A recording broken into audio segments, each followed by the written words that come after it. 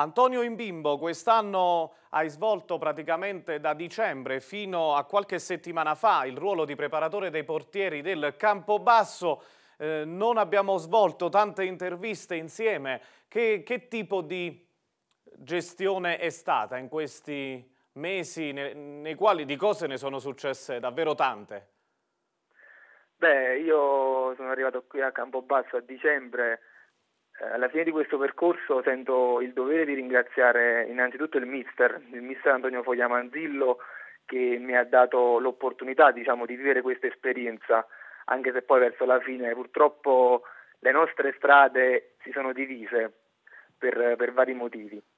Però secondo me è stata un'esperienza che a mio parere è stata fondamentale, sia dal punto di vista professionale che umano, ecco Gianni.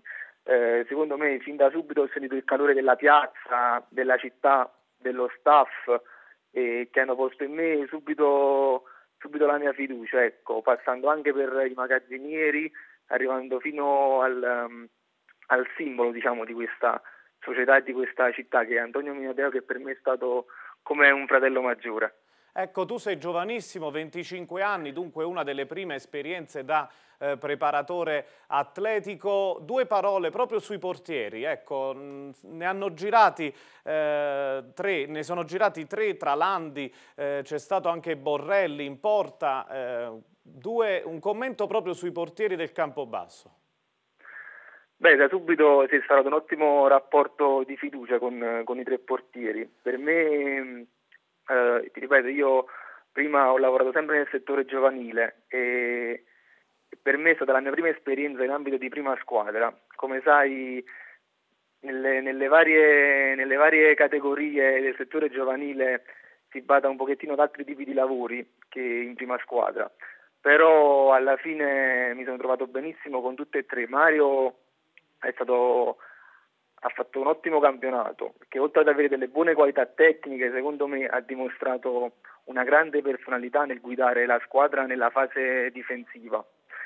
Tatticamente è un uomo molto importante, si è, mai, si, si è, sempre messo in discussione Gianni, ecco, con grande voglia di apprendere. Nulla togliere a Francesco Borrelli e a Vincenzo Riccio che sono due ottimi portieri e secondo me hanno visto in lui un punto fondamentale eh, di crescita e spero che loro corso della loro, della loro carriera possano intraprendere la strada che intraprenderà Ecco Mario. Ecco, l'ultima cosa, eh, diciamo, lo staff tecnico, i giocatori diciamo, hanno un po' il fiato sospeso in questi giorni di attesa per avere eh, gli stipendi promessi dalla società, ovviamente promessi anche a voi dello staff tecnico. Come stai vivendo questi giorni e che cosa ti auguri per il futuro? Beh, in questi giorni si stanno dicendo tante, tante parole, tante ma tante anche bugie, ecco. I fatti parlano chiaro e come i ragazzi stanno aspettando gli stipendi, anche noi dello staff, ti parlo eh, anche sottoscritto, deve, deve, aspettare gli stipendi. Guarda, io, io per la, l'amore per questa, per questa società, gli ultimi tre mesi lo sai che abbiamo fatto, non abbiamo fatto solo il preparatore dei portieri, abbiamo fatto anche altro e, e nemmeno una, essere gratificati è veramente brutto, però la passione per questo sport va, va oltre. Però io il mio augurio che, che mi faccio è che il Presidente possa salvare tutto e che questa società possa ritornare al calcio che conta.